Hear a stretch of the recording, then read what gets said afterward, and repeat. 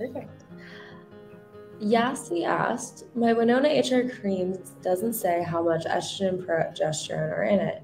How do we find out what we're taking? So it, yeah, it's confusing. It actually does, but it doesn't say it in real good English, quite honestly.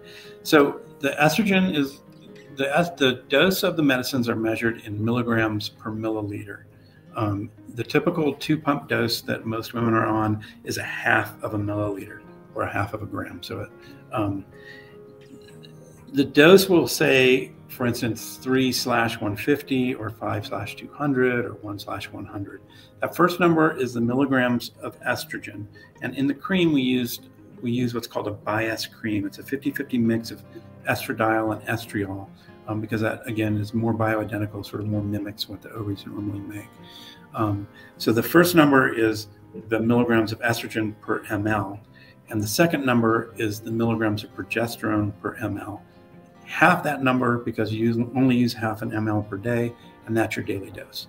So if the thing says 5 200, that means every day you're getting two and a half milligrams of estrogen um, and 150 milligrams.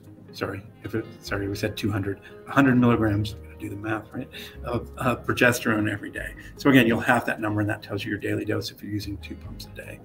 If that's still confusing, shoot me a message or um, or whichever doctor is taking care of you, we're happy to explain it and tell you exactly what your dose is.